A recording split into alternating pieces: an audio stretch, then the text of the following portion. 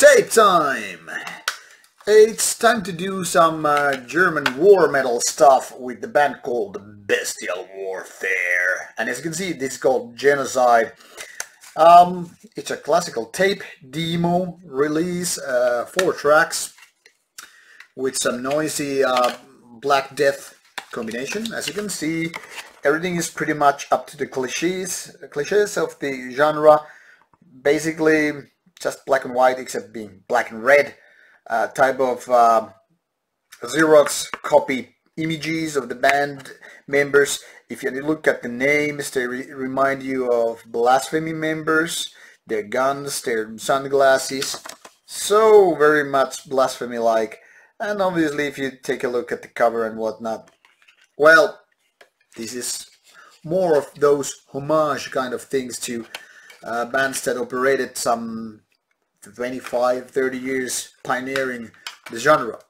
So German war metal in the ways that cliches are made. What can I say?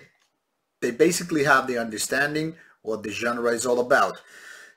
Kind of having those brutal crawling, really down-tuned guitars, drum beatings which are fast and kind of creating this mismatch of a Black Death kind of a hybrid where it's not proper death metal, but it's not proper black metal either.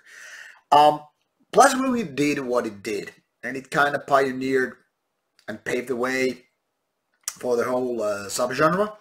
Then the other bands like Archgoat, which also uh, did their process of creating this stuff already like some 30 years ago. So what does this bestial warfare has to offer? Very little, unless you think being copycat is exactly the thing you are going for. Uh, in a sense, this is very typical demo tape. Uh, first of all, it's nothing original. Nothing, absolutely nothing original here.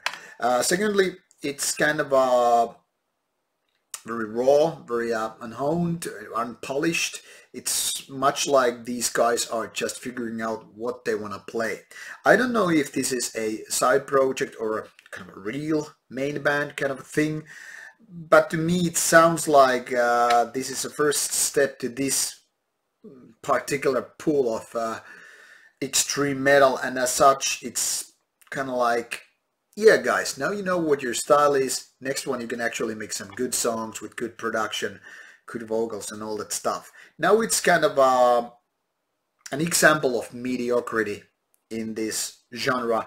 And as such this is something I can only recommend to hardcore Dead Black fans and uh, not anybody else because I mean everything in this genre has basically been done a million times better a million times before. So this particular tape has very little to offer.